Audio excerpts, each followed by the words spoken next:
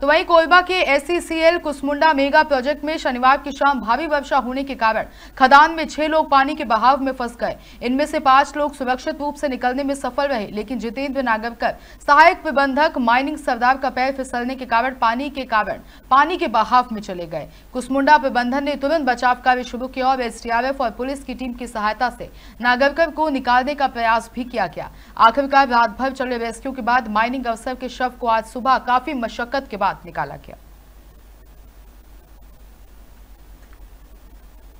कल लगभग साढ़े चार बजे हमारे पास सूचना आई थी कि कुसमुंडा के एसीसीएल मेगा प्रोजेक्ट में लगभग छह लोग जो हैं पानी में फंसे हुए हैं।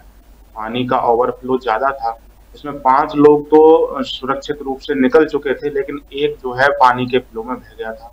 जो पानी में बह गया था, उसका नाम जितेंद्र नागरकर था। वो महाराष्ट्र के चंद्रपुर का निवासी था। रात भर एसीसीएल और हमारी एसडीआरएफ की टीम लगातार सर्च करती रही थी, लेकिन रात में उनको सफलता नहीं मिली थी।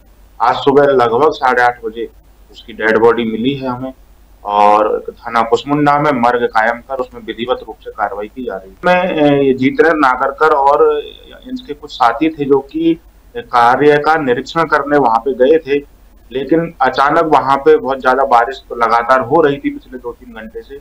तो वो एक जगह फंस गए थे। फिर वो सेफली सब हाथ पकड़ के उस जगह को क्रॉस कर रहे थे। उसमें जितेंद्र नागरकर का पैर फिसल गया था, जिससे वो बहाव में बह गए। नहीं, अभी तक जो प्रारंभिक जाँच में अभी तक कोई ऐसा पुष्ट उसका कारण सामने नहीं आया, लेकिन अभी जाँच जारी है। जैसे ही इसमें कुछ पता चलेगा तो हम आपको